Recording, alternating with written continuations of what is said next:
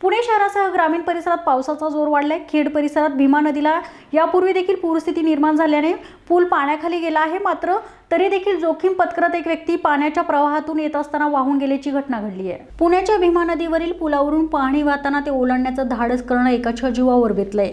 खेड तालुक्यातील खरपुडी खंडोबा येथे ही घटना घडली आहे. मंगळवारच्या सायंकाळचा हा प्रकार मोबाईल कॅमेऱ्यातही कैद झाला आहे आझाद गाड्याचं या तरुणाचं नाव असल्याचं समोर आलंय. आझाद कामावरून घरी परतत होता. ग्रामस्थांच्या मते कालही आझादने असंच नको ते धाडस केलं आणि तेव्हा तो पूल ओलांडू शकला. पण आज चाकसमान धरणातनं भीमा नदीत मोठ्या प्रमाणात पाण्याचा विसर्ग करण्यात आला. त्यामुळे नदीतील पाण्याचा प्रवाह अधिक होता मात्र याचा अंदाज आझादला न आल्याने तो वाहून गेलाय. त्यामुळे पुलावरून पाणी वाहत असल्यास थोडंसं थांबा. आणि असं जीव घेणे स्टंट करून जीवाशी खेळू नका. प्रतिनिधी मोहन दुबे दिनमान न्यूज पिंपरी चिंचवड.